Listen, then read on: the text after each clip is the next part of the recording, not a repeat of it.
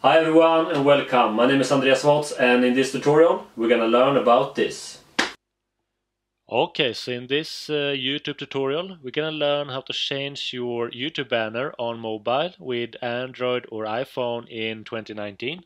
Okay, so I'm gonna change my banner right here, my YouTube banner.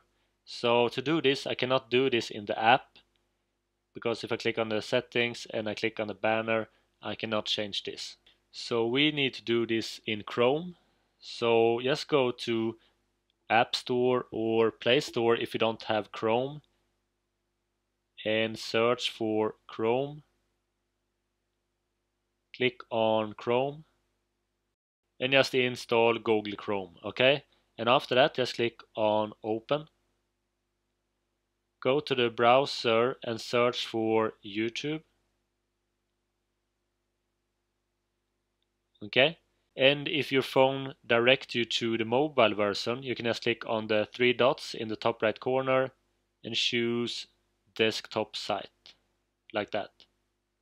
Alright, and then go up to the top right corner and click on your profile image.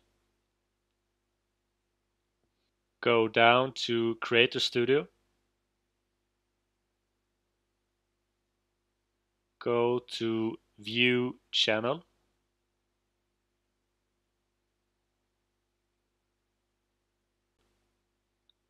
And go and uh, click on the banner. And if this doesn't come up when you click on the banner, I'm gonna uncheck site mode and I'm gonna click on the banner one more time and now you see this uh, edit button in the top right corner of your YouTube banner. Click on that and click on edit channel art. Alright, so this is gonna take you to the same place. Then click on select the photo. Choose files and choose your YouTube channel banner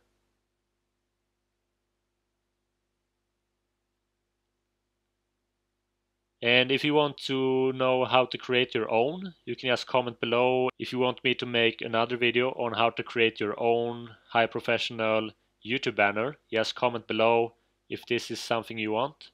So now you can see the preview on how this will look on desktop, on TV, and also on the mobile phone. Okay, you can adjust this. Just go and click on this one adjust the crop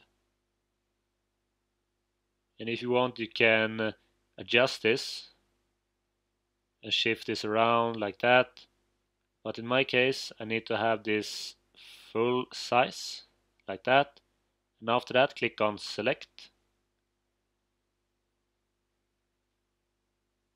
and now we have the new YouTube banner we can go to the YouTube app and have a look as well and go to my channel and update